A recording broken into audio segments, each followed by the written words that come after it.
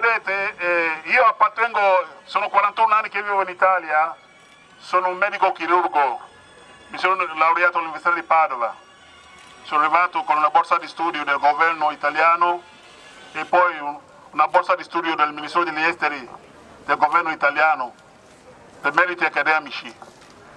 Io faccio parte di una generazione di africani post-coloniale credeva molto nel panafricanismo e era il periodo dell'apartheid in Sudafrica in cui si è superiore all'altro semplicemente appartenendo ad un'etnia, a una razza se vogliamo. Meglio chiarire che il concetto di razza fu coniato in Francia nei tempi che furono, ma si riferiva alle razze equine. Poi a un certo punto, con l'eurocentrismo, cominciò a infiltrarsi nella mente delle persone, degli uomini, la dottrina delle razze. In Africa, alla mia epoca, quando ero ragazzo, ero studente, c'era l'apartheid e questo serviva come una forza trainante per tutti i paesi africani. Se voi pensate un attimo che l'Africa è quello che è oggi, perché, non perché i leader postcoloniali non credevano nel panafricanismo, ma prevalse l'egoismo degli stati. Perché quando fu proposto di creare una nazione africana unita, nel primo congresso dell'Organizzazione eh, Africana per l'Unità dell'Africa in Etiopia, in Addis Abeba, molti leader di allora bocciarono l'idea, ma non perché non, pi non piaceva, ma perché per l'egoismo ed infatti voi della generazione attuale potete essere testimoni insomma, di quello che poi è stato il saccheggio e tuttora lo dell'Africa.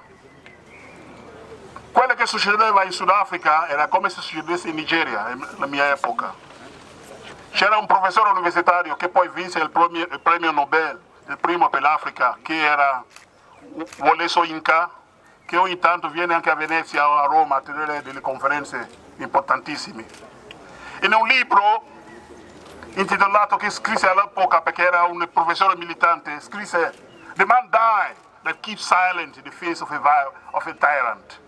L'uomo muore se tace davanti al tiranno. E un altro, un altro da terre lontane un americano di estrazione libanese, Khalil Gibran, scrive che il tiranno è dentro di noi. La corona, il trono del tirannesimo ce l'abbiamo dentro. Per poter agire fuori prima devi estirparlo di dentro. Sapete, per un motivo o l'altro l'uomo è sempre stato diffidente. Quando avevo la vostra età, io credevo nella lotta fisica per rivedere il concetto che siamo uguali, che giudicami, mi devi giudicare per le mie azioni, non per le mie sembianze o per i miei attributi esteriori. Adesso, alla, alle porte dei 60 anni, bisogna fare la lotta mentale, l'acume mentale. È facile perché sapete è una grande prova che voi siete chiamati ad affrontare. Ma se l'unione fa la forza, le vostre ideologie, le vostre, i, i concerti dell'uguaglianza, perché si comincia da piccolo a inculcarlo nella testa degli uomini. In Africa, oh, nessun, come ha detto Spike Lee l'altro giorno, nessun paese è libero dal razzismo. In Africa il tribalismo ed è forte. I colonizzatori, per poter dominare meglio l'Africa, rafforzarono il concetto del tribalismo, perché divisi è facile dividere. E lo si fece con i Tutsi e gli Hutu, dicendo, dicendo ai, Tutsi che avevano le discendenze addirittura europee attraverso l'Egitto, l'antico Egitto e cavolate varie. E quindi gli Hutu erano dei Bantu, io faccio parte dell'etnia dei Bantu. E voi pensate a, a, a immaginare un attimo questo concerto. Voi siete abituati a pensare che i cinesi come popolo sono numero uno nel mondo, ma se voi pensate un attimo che l'Africa, tenendo in considerazione anche quelle della diaspora e quello che sta succedendo attualmente negli Stati Uniti d'America per gli eventi che ormai erano arrivati all'esasperazione, a non poter più essere sopportati e secondati. Se voi tenete conto della diaspora africana, vi rendete conto che l'Africa, con la sua discendenza, è la prima popolazione mondiale, più dei cinesi. Ma finché regna tra di noi la divisione, è difficile, e se non impossibile, capire che l'unione deve fare la forza, ma non per dominare sugli altri. Il concetto della condivisione. Quelli che sono cristiani sono abituati al detto di, di Gesù il Cristo, ama il tuo prossimo come te stesso, ma come ha cantato poi Lucky Dube, il musicista sudafricano, non ha detto se il prossimo è un bianco, un giallo e un, un nero, il tuo prossimo, perché l'essenza, è l'essenza che ci unisce tutti, la forza vitale, chiamatelo l'anima, chiamatelo quello che volete. Ai miei tempi all'università, tanto per farvi un esempio, noi eravamo una generazione di africani ben preparati, avevamo delle buone scuole, dei buoni concerti. All'Università di Padova molti professori si meravigliavano perché un africano riusciva a prendere 30 e lode. Ma eravamo uguali, perché, perché no? Se ho una buona base di preparazione, perché non posso prendere 30 e lode? Perché no?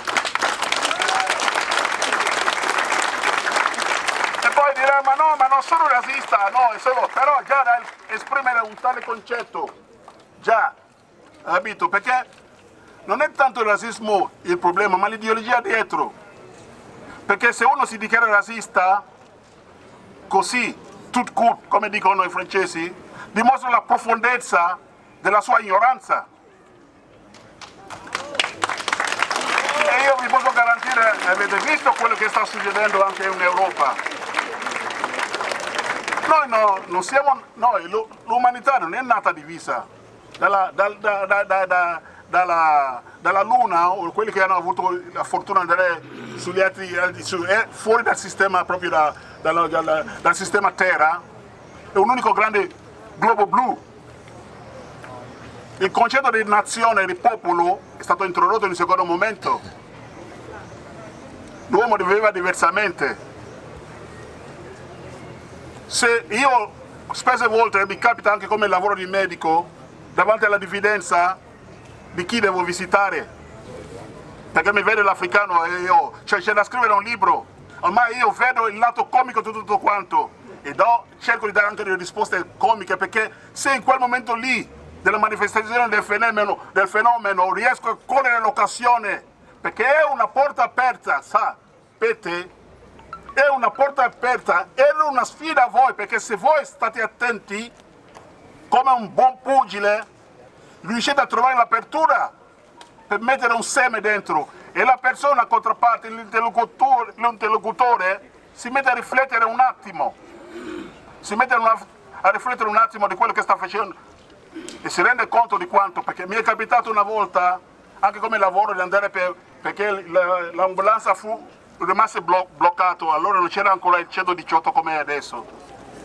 L'ambulanza rimase bloccato e erano disperati, mi chiamarono da Padova di andare per sbloccare l'ambulanza perché il signore poveretto era, se era già andato. Era un momento di dolore ed è comprensibile. Uno dei figli, un uomo, appena mi vide arrivare perché pioveva un po' alla battaglia terme, io mi avvicinai al cancello avevo parcheggiato la macchina un po' lontano, la macchina di servizio tra l'altro. Appena mi vide, divenne blu dalla rabbia. Come osa l'africano venire a avvicinarsi in un momento del dolore? Comprensibile. Ma cavolo, aspetta un attimo a sentire cosa vuole l'africano. Via di qua, mi disse. E io ah, mi avvicinavo con coraggio. Ho detto questo mi ammazza, però ero, essendo un ex boxer, avevo un fisico anche io. Ho detto ma qua devo difendere via da qua, via! Come osa? Ho detto via! Io continuo a arrivare, a, a, a, eh, quindi il senso della sfida. Io vi sto raccontando questo perché se voi, io non l'ho visto e rifiuto di vederlo. L'uccisione di Floyd, perché è stata un'uccisione ragazzi, non c'è giustificazione. Abbiamo i poliziotti là, abbiamo i poliziotti là. Se noi ci comportiamo male, loro agiranno, agir, agir, cioè, si metteranno in azione, ma non per ucciderci, per neutralizzarci. Se uno parte col concetto, perché chi ha studiato un po' di anatomia sa che se io eh, poi un poliziotto del genere mette un, il ginocchio sul collo di una persona, è tentato omicidio, perché lo ammazzi. Sapete che la trachea umana è fatta